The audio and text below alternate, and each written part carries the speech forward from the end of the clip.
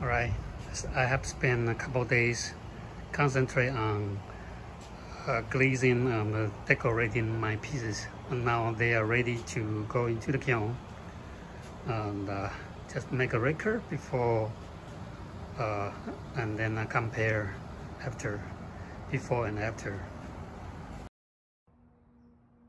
Right, everything is loaded up and uh, ready to go. Okay, keep the fingers crossed. Alright, I was monitoring inside my house and uh, the uh, firing just completed.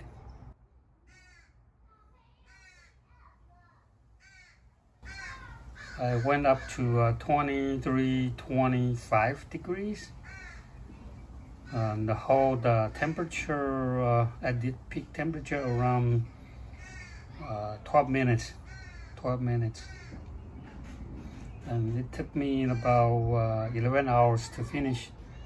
The uh, program is a medium uh, glaze fire. Is the manufacturer set up firing schedule. And I fire to cone ten content but uh, usually uh, from my past experience the uh, cone 11 is done so.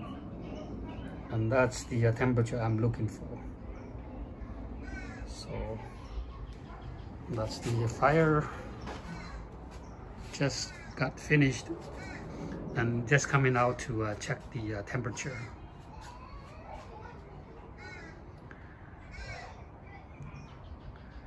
Okay, so uh, I will unload the kiln tomorrow and see how it goes. Right now the time is 7 p.m. Uh, it's been cooling for 8 hours and uh, the uh, temperature is 585 585 degrees uh, I'm cracking the kiln open a little bit and get a sneak peek inside uh, looks good.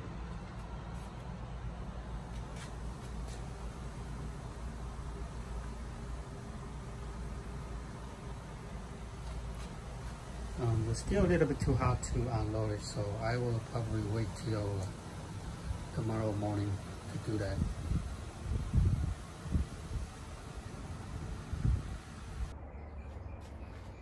Alright, um, I'm ready to unload the kiln uh, it's been drying for overnight.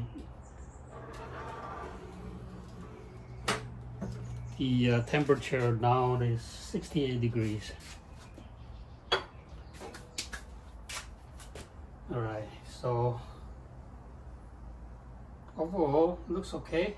At uh, suburban, uh, the temperature is still a little bit uh, on the uh, lower side. Um, I would prefer a little bit uh, harder.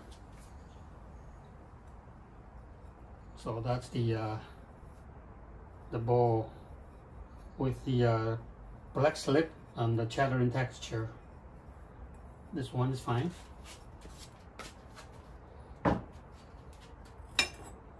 The same way. Looks okay.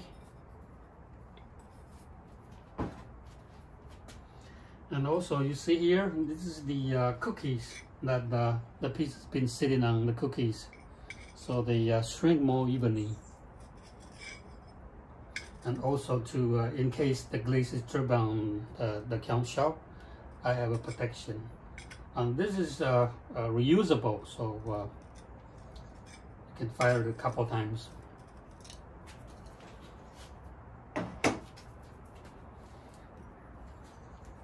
the uh, sodium silicate cover jar. And I fire the lid together with the body and uh, with the aluminum hydrate brush in between, so it's very easy to separate.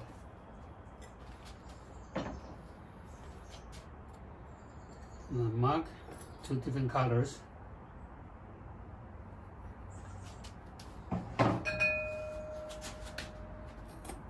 the uh, teapot is a little bit uh, under fire. The temperature the glaze still uh, got the orange peel uh, surface so I'll probably refire it.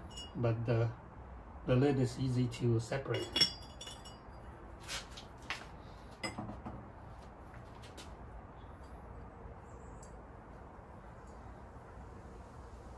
Right. The uh, cover jar a little stuck. Um, I will try to use a piece of wood uh, to tap it and see if I can open it.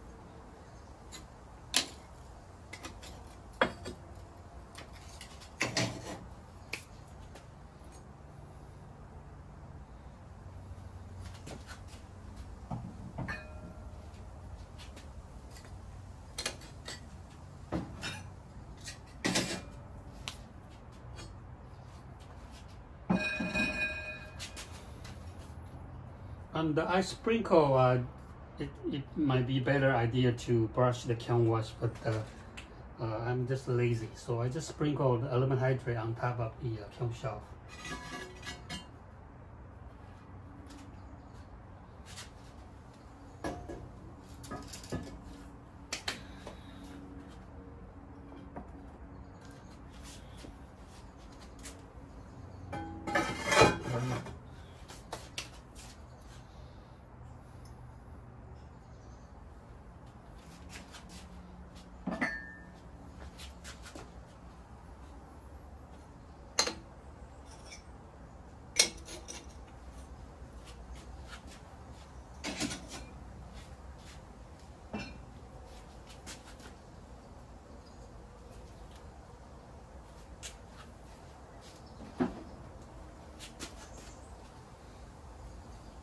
So I did a demo on that uh, cover jar.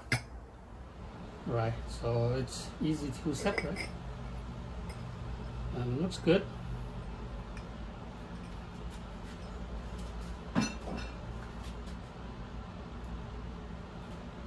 So another uh, cover jar with the uh, black slip and uh, just brush the uh, red, red iron stain over. And this one looks good too.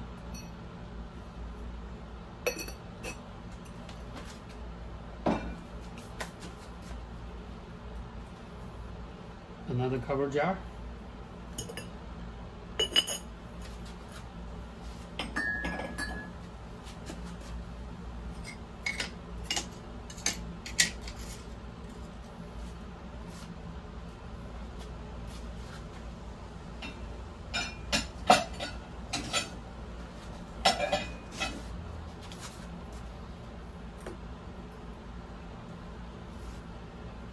Right some uh, other glaze that I'm doing some experiment on it. Uh, not the, the color I like.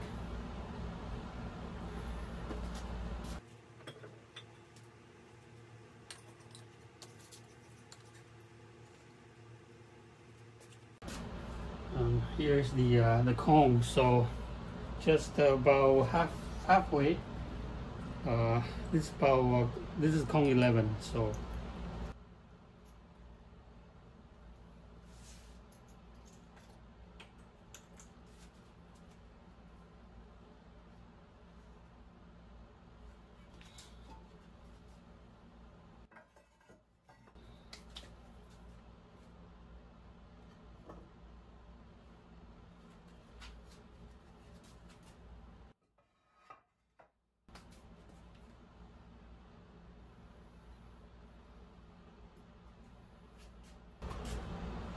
right so that's it.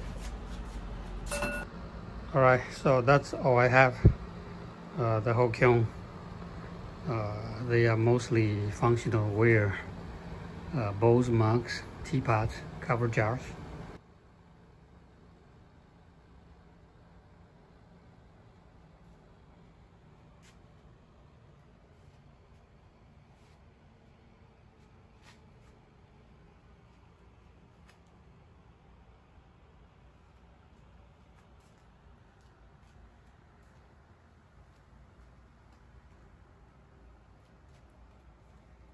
some of them are looking good but some of them uh, I still uh, want to be uh, I want to refire them because the uh, the uh, surface is not as smooth as I expected. Uh, I should have a hold the temperature maybe a little bit longer. I told you that I hold about 12 minutes. Maybe the peak temperature I will hold maybe 20 20 more minutes 20 minutes so that the, the glaze mature more and uh, not getting the uh, orange peel skin texture. But uh, overall it's, it's quite uh, quite nice. All right so that's the uh, whole process before fire and after. So to, to just show you the result and uh, also I did the uh, demonstration on glazing part and uh, so uh, you will see the uh, result.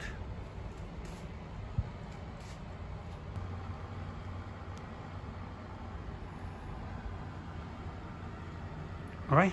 Thanks for watching